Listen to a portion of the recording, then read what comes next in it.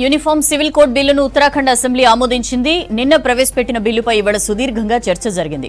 రాజ్యాంగ వ్యవస్థల ప్రకారమే తాము ముసాయిదాను తయారు చేశామని ముఖ్యమంత్రి పుష్కర్ సింగ్ ధామీ ప్రకటించారు. స్వాతంత్ర్య అనంతరం రాష్ట్రాలు కూడా తగిన సమయంలో యూసీసీని ప్రవేశపెట్టొచ్చని ఆర్టికల్ ఫార్టీ ఫోర్ కింద హక్కును కల్పించారని ధామి చెప్పారు. బిల్లుకు సభ ఆమోదం తెలపడంతో ఉత్తరాఖండ్లో బీజేపీ నేతలు సంబరాలు చేసుకున్నారు. ఉమ్మడి పౌర స్మృతి తీసుకొచ్చిన తొలి రాష్ట్రంగా ఉత్తరాఖండ్ నిలిచింది.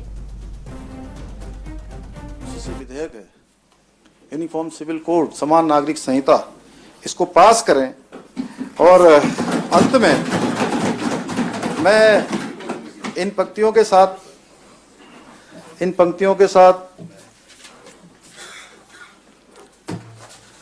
इन पंक्तियों के साथ अपनी बात को समाप्त करूँगा कि विकसित भारत का स्वप्न लिए विकसित भारत का स्वप्न लिए महिला सशक्तिकरण का लक्ष्य लिए हम नव निर्माण पर निकले हैं भारत का संविधान लिए भारत का संविधान लिए समता का संकल्प लिए समरसता का ध्येय लिए राम राज्य की बेला में सब लोगों का साथ लिए सब लोगों का साथ लिए हम नव निर्माण पर निकले हैं भारत का संविधान लिए भारत का संविधान యూనిఫామ్ సివిల్ కోడ్ బిల్లును ఉత్తరాఖండ్ అసెంబ్లీ ఆమోదించింది నిన్న ప్రవేశపెట్టిన బిల్లుపై ఇవాళ సుదీర్ఘంగా చర్చ జరిగింది రాజ్యాంగ వ్యవస్థల ప్రకారమే తాము ముసాయిదాను తయారు చేశామని ముఖ్యమంత్రి పుష్కర్ సింగ్ ధామీ ప్రకటించారు స్వాతంత్ర్యానంతరం రాష్ట్రాలు కూడా తగిన సమయంలో యూసీసీని ప్రవేశపెట్టొచ్చని ఆర్టికల్ ఫార్టీ కింద హక్కును కల్పించారని ధామీ చెప్పారు బిల్లుకు సభ ఆమోదం తెలపడంతో ఉత్తరాఖండ్లో బీజేపీ నేతలు సంబరాలు చేసుకున్నారు ఉమ్మడి పౌర స్మృతి తీసుకొచ్చిన తొలి రాష్ట్రంగా ఉత్తరాఖండ్ నిలిచింది मैंने कहा कि ये कोई सामान्य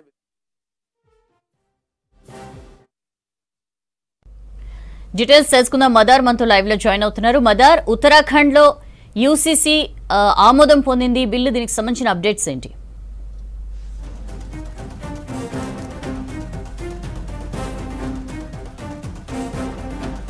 సౌజన్య దేశంలోనే మొదటి రాష్ట్రంగా ఉత్తరాఖండ్ నిలిచింది. యూసీసీకి సంబంధించి ఒక సుదీర్ఘ ప్రక్రియ అంతా కూడా నడిచింది. యూసీసీ బిల్లు తీసుకొచ్చే ముందు సుమారు అంటే రెండు వేల ఇరవై రెండు రెండోసారి బీజేపీ అధికారంలోకి వచ్చిన తర్వాత మొదటి క్యాబినెట్లోనే దీనికి సంబంధించిన నిర్ణయం తీసుకున్నారు. దాంతోపాటు supreme court retired justice Ranjan Prakash Desai నేతృత్వంలో ఐదుగురు సభ్యులతోటి ఒక కమిటీని వేశారు. సుమారు డెబ్బైకి పైగా సమావేశాలు నిర్వహించి అరవై వేల మంది అభిప్రాయాలు తీసుకున్నారు. ఇక ఆన్లైన్లో సలహాలు సూచనలు కూడా సుమారు రెండు లక్షల ముప్పై మూడు వేల పైచీలకు సలహాలు సూచనలు తీసుకొని ఒక ఏడు నాలుగు సంపుటులతోటి ఏడు వందల నలభై పేజీల ముసాయిదా బిల్లుని మొన్న శుక్రవారం రోజు ప్రభుత్వానికి అందించారు. ఆదివారం జరిగినటువంటి కేబినెట్ భేటీలో దానిపైన నిర్ణయం తీసుకున్నారు. నిన్న దీన్ని ఉత్తరాఖండ్ అసెంబ్లీ సమావేశాలు. ప్రత్యేకంగా ఈ యూసీసీ బిల్లు కోసమే ప్రత్యేకంగా సమావేశాలు నిర్వహించారు. ఆ సమావేశంలో నిన్న ప్రవేశపెట్టి చర్చకు అన్ని పార్టీలు అంటే విపక్ష పార్టీలకు సంబంధించిన సభ్యులు కూడా ఈ చర్చలో పాల్గొనాలంటూ సీఎం పుష్కర్ సింగ్ సా- కోరారు. కానీ నిన్న కొంత కాంగ్రెస్ పార్టీ నుంచి నిరసనలు వ్యక్తమయ్యాయి. రాజ్యాంగం ప్రకారం అంటే ఈ యూసీసీని తాము వ్యతిరేకించట్లేదు. కేవలం రాజ్యాంగం ప్రకారం బిల్లును తీసుకురావాలి అంటూ కూడా వారు నినాదాలు చేశారు. దాంతో నిన్న చర్చ జరగలేదు. ఈరోజు సుదీర్ఘంగా చర్చ నడిచింది. దాంట్లో పుష్కర్ సింగ్ ధామి బిల్లుకు సంబంధించి కీలక అంశాలు పెట్టారు. అది కూడా రాజ్యాంగం లోబడే తాను ఈ బిల్లును తీసుకొచ్చాము. దాంతోపాటు సుదీర్ఘంగా అన్ని వర్గాలకు సంబంధించిన ప్రజల అభిప్రాయాలు తీసుకున్నాము. ఏ ప్రజలకు కూడా ఏ వర్గానికి సంబంధించిన ప్రజలకు కూడా అన్యాయం చేసేలాగా ఈ బిల్లు లేదు. దీ ఈ బిల్లుతోటి మహిళల హక్కుల రక్షణకి ఇది ఎంతోగానో ఉపయోగపడుతుంది అనేటువంటి కామెంట్స్ కూడా ఆయన చేశారు. ముఖ్యంగా యూసీసీ కాన్సెప్ట్ అంతా ఒకటే. మతాలకు అతీతంగా ముఖ్యంగా వివాహం కావచ్చు విడాకులు భూమి హక్కు వారసత్వం వీటన్నింటికి సంబంధించి ఒకే విధమైనటువంటి చట్టం అమల్లోకి వస్తుంది. ఈ చట్టం నుంచి గిరిజనులను ఎక్సెప్ట్ చేశారు.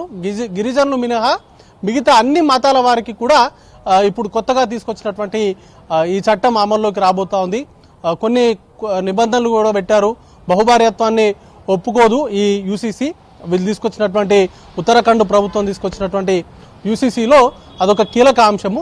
ఇక దత్తత విషయంలో కావచ్చు లేకపోతే సహజీవనానికి సంబంధించి కూడా కొన్ని నిర్ణయాలు తీసుకున్నారు. మూడే మూడు నెలలుగా సహజీవనం చేసుకున్నట్ల చేసినట్లయితే వారు రిజిస్ట్రేషన్ చేసుకోవాల్సినటువంటి అవసరం ఉంటుంది. ఒకవేళ ఎవరైనా రిజిస్ట్రేషన్లు చేసుకోకపోతే వారికి జరినామాతో పాటు జైలు శిక్ష కూడా విధించేటువంటి అవకాశం ఉంటుంది.